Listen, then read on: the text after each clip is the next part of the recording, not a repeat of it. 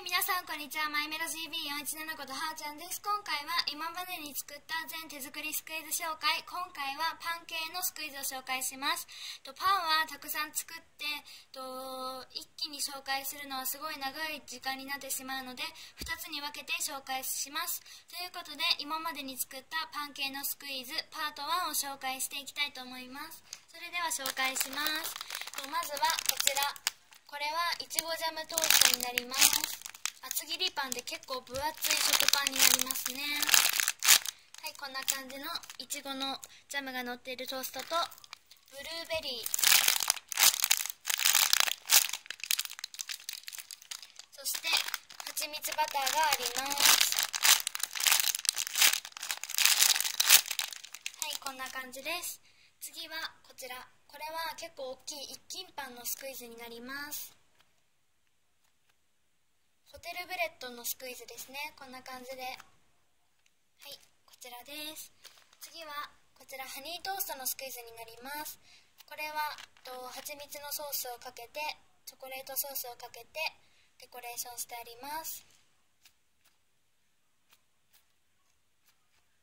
こんな感じです。次はこちらです。これはこっちよりちょっと小さいんですけどとバニラアイスとイチゴが乗っているはいハニートーストになりますね。で次はこちらです。こちらはえっとこんな感じのブルーベリーが乗っているデニッシュになります。と全部こういうのパーツは粘土なんですけどこれはスポンジで作ってみたブルーベリーなのでこんな感じで押せますね。こんな感じで可愛いラッピングをしています。次はこちらです。これは大きめの丸いデニッシュのスクイーズになっていますね。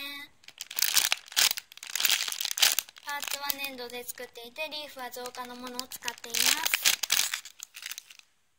で、えーと、次はこちらになります。いちごとバナナのデニッシュです。これはバニあのデニッシュをこんな感じでデニッシュっぽく見えるようにザクザクという風に切ってあります。次は同じ形のチョコレートのデニッシュになります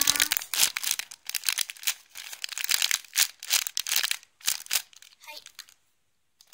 次はこちらです。こちらはとブルーベリーとこんな感じでとブリオンをかけてホイップをでっこって作ってあるんですけど前に作ったものなのでちょっと形がいびつなんですけどこんな感じでブルーベリーもね前に作ったものなので今に比べたら結構上手ではないんですけどあんまりクオリティは低いんですけどそんな感じです。次がこちらです。これはいちごとこういう感じのパーツをつけています。パーツが全部手作りで作ったものになります。よいしょ。でこちら。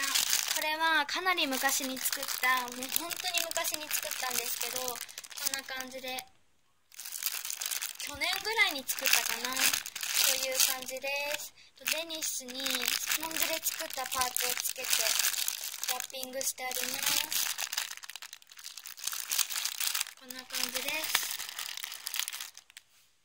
で次はこちらです。こちらのりんごのえっ、ー、とかリンゴが入ってるように見える感じなんですけどあのー、こ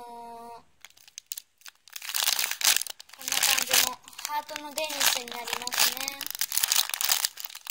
はい、まいちごジャムのかかってる感じでイメージして作ったんですけどはいこんな感じです。しょで次がこちらです。小さいデニッシュのスクイズです。こんな感じで。はいこういうスクイズですね。はいえーと次はこちらの食パンスクイーズになります。くまちゃんの食パンのスクイーズになっています。ちょっとあんまり映らなくなってきたんですけどすいません。で次はこちらのロールパンのスクイーズになります。こちらがシナモンロールみたいな感じなんですけどち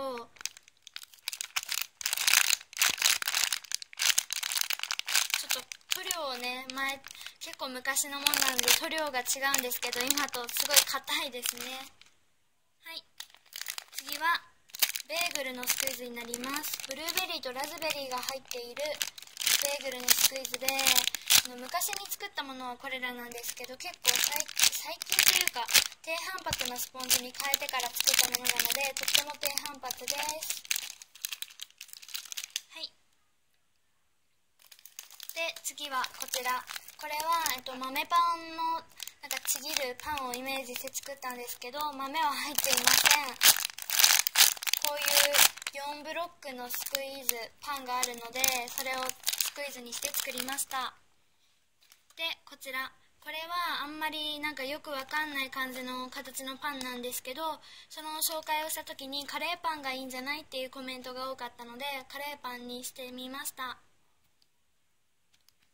ま、シンプルなパンという感じで、まあ、適当に切って作ったんですけどまこういう感じのカレーパンあるからこういう形のカレーパンとしてはい紹介して紹介します。はいこちらです。次はこちら。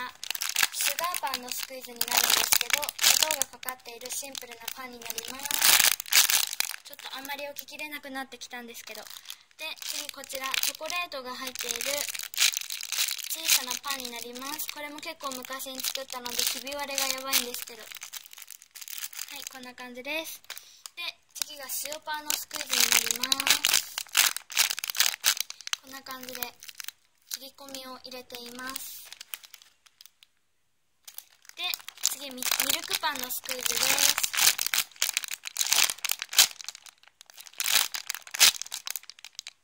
はいこんな感じです。こちら小さな食パンのスクイーズになります。はいこんな感じです。で最後にこちら。これはフランスパンのスクイーズなんですけどこんな感じの袋に入れてあります。これはこんな感じでラッピングしてありますね。はいというわけで今回は今までに作ったパン系の手作りスクイーズ紹介パート1でした。とまだまだパンはあるのでパート2に分けて次の動画で紹介していきたいと思います。ご視聴ありがとうございました。バイバーイ。